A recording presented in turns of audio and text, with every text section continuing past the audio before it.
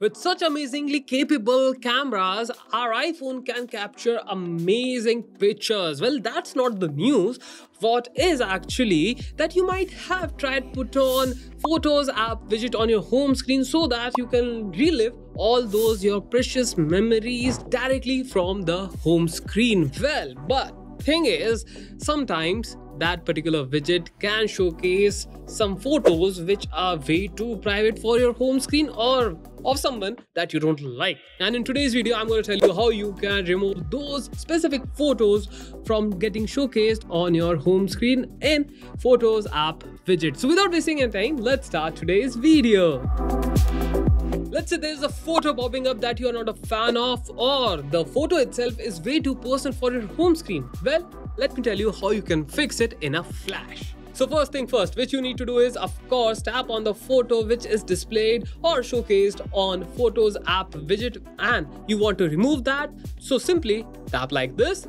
Now I want to remove this photo so I need to again tap on this three dot button or aka more options. From here you have two options. Either you can remove this particular photo from the featured list or in fact you can also feature this particular person less in our featured photo list. So I'm gonna select remove from featured photo and as you can see the featured photo will be gone and just like that the photo will be gone from the widget but what if that's a memory a bad in fact which you're not fond of how to remove that. So again the first thing which you need to do is tap on that particular memory which is showcased in the photos widget app which is this one of course like this.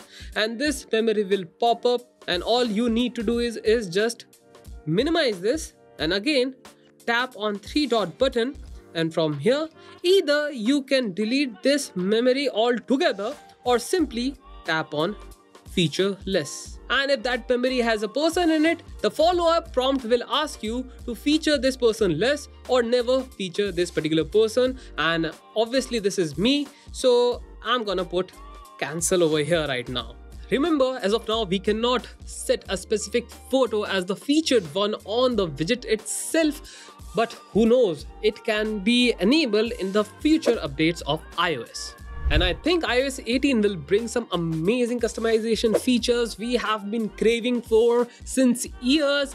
But if you want to know more about iOS 18 upcoming features, we have made a dedicated video and I suggest you that you can check that out in the iCard section. So if you're finding yourself getting overwhelmed with those unwanted pictures on the Photos app widget, then my friend, the only thing which you can do is remove that particular widget. So simply tap and hold on the widget. Over here, I have created a stack.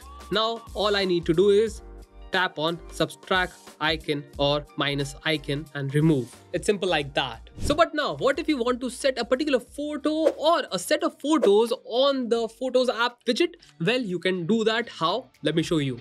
So simply again we need to tap and hold on the empty area on our home screen. Again tap on add icon, scroll down, scroll down, scroll down and let's go to the photos over here. And as you can see right now it says featured but as soon as I scroll left, the option will change and it will become albums and we need to select this particular widget and I'll place it over here and make it a stack again. Now tap on it, tap on it again and from here you can select a particular album you want to showcase in this widget. For example, let's go over here and let me set it to Pinterest. And here we go. And it will load the photo like this. Tap on done. And voila. And now all the photos all the set of photos will be of your choice. And you don't need to worry about showcasing some things which you don't want to at the end of the day so that's all guys. That was a quick guide for all those people suffering from unwanted images on their home screen. And if i have helped you then make sure you like this video subscribe to the channel press the bell icon so that you don't miss out on any amazing content like this.